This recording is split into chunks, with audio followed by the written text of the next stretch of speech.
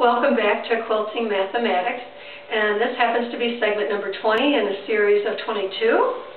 Uh, this quilt right here is called Greco-Latin Squares, and it has a very fascinating history and also interesting applications. Most of you that know of Sudoku um, have been working with Greco-Latin Squares. Well, this is a more general set, so the Sudoku is a subset of a more general kind of set of uh, squares called Greco-Latin squares. We have similar features here. Now this quilt happens to be a 10 by 10, 10 units across and 10 units up.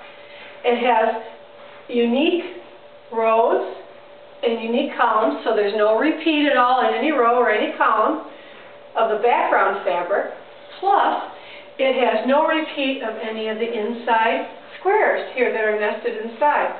So, no repeats this way, no repeats this way for both the background and the inside square. That means there are 100 unique cells in this particular array. I happened to find actually this pattern on the internet and investigated to make sure that there were no repeats at all. Uh, the interesting thing about this quilt is when I was showing it up in Madison, Wisconsin, uh, one of the professors came up to tell me about applications that are used for Greco-Latin squares. And in his particular field, they were doing some analysis with fertilizers.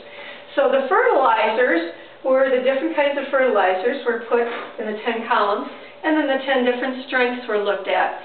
So by, thereby getting 100 unique cells for um, the analysis to see which fertilizer was uh, the most appropriate.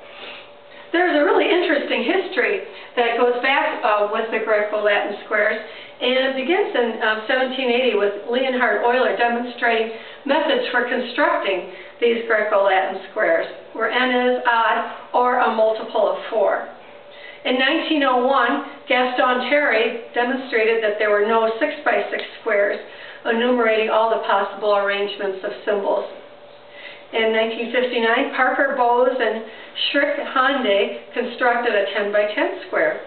So um, this may not be theirs, but this is a 10 by 10. In 1978, the French writer Georges Perec used a 10 by 10 square, believed then to be the only one possible, for the structure of constraints underlying one of his novels.